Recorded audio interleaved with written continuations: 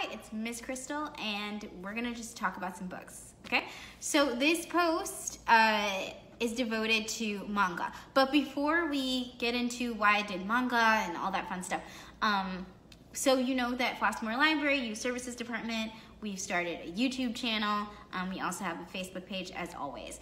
Now, my videos are going to be me and Miss Jenny's videos are going to be uploaded to YouTube you know, every week or whatever, a couple times a week. Um, whatever day this comes out on Facebook, it will also be coming out on YouTube.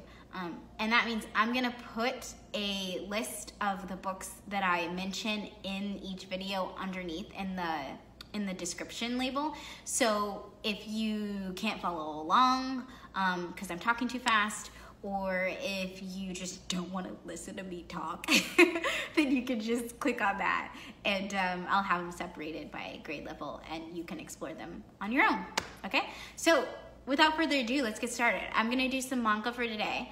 Um, I guess I decided to do manga because it is kind of it's super fun. It's such a fun genre. I think that sometimes people get pigeonholed and they think that manga is one thing or that it's only like Pokemon and like I don't know, Bleach.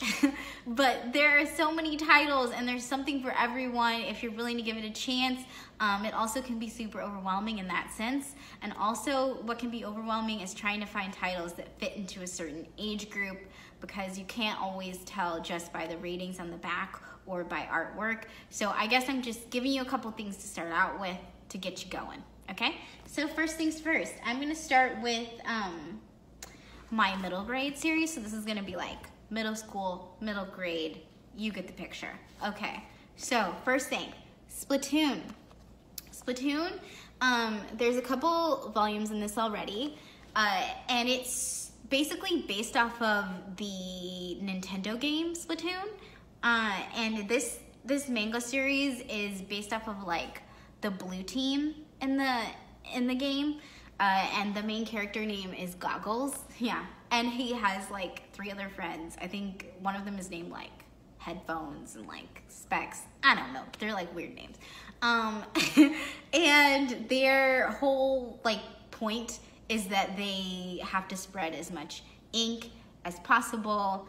Um, and when you spread ink, that means that you have like taken over that territory. So it's like a territory game okay? So you're trying to get as much territory as possible, and the way you get that is by spreading your ink, um, and you have to fight the other teams that are also trying to take over territory as well. Um, it goes by the same rules as the video game, so they, they turn into like these squid creatures sometimes. Yeah, weird, I know, but you know, it's cute. I don't know, it's like a fun one. Go for it. Okay. Next thing, Komi can't communicate. So this is super duper cute. Like I've been reading this online um, mostly, and Komi Can't Communicate is basically about this girl Komi. Um, and she is in like, I wanna say like middle school, and she is basically like super duper um, socially anxious, so she doesn't talk to people like ever. Like she like barely ever speaks. Um, and she's not very good with like emotion regulation. So she doesn't like show her emotions on her face that well either. Um, and that leads to like her actually being really popular at school because people think that she's super like aloof and mysterious but really she just like doesn't know how to talk to people which is sad. So she ends up at, at lunch i think like this kid to tadano he has like detention or something. She's just trying to hide out and so they're in the classroom at lunchtime and they start talking to each other. And he not talking about writing on the board because she's so anxious she can't even like speak to him. Um, and so like he realizes that she never talks. Um, and she's like yeah because of that i don't really have any friends. Um, and that's something that i would like.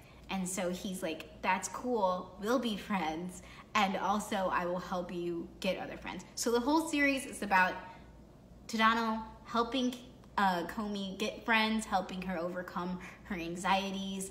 Um, it's very, very cute, and so far, I love it. Okay. Last two, we're on a roll. So, we've got our young adult, like high school age novels. Okay, this one's called Aoharu Ride. Um, it also is called Blue Spring Ride if you're looking for it online. Um, this title's hard to see. I mean, this cover's hard to see. But the artwork is actually really good. And it's like more of a rom-com manga, slice of life romance one. And uh, it's about this girl, Futaba. She is 16 and she runs into her like love this guy she was in love with in middle school which i think is crazy that she like already has like a romance history at 16 but whatever. So she runs into him and she's like yeah like i want to be friends with you or something like you know it's been a long time. And um, but he's like super closed off and he's completely different than what she remembers. Um, so it's kind of just about like how people change um, but also how at the root of everything they kind of stay the same.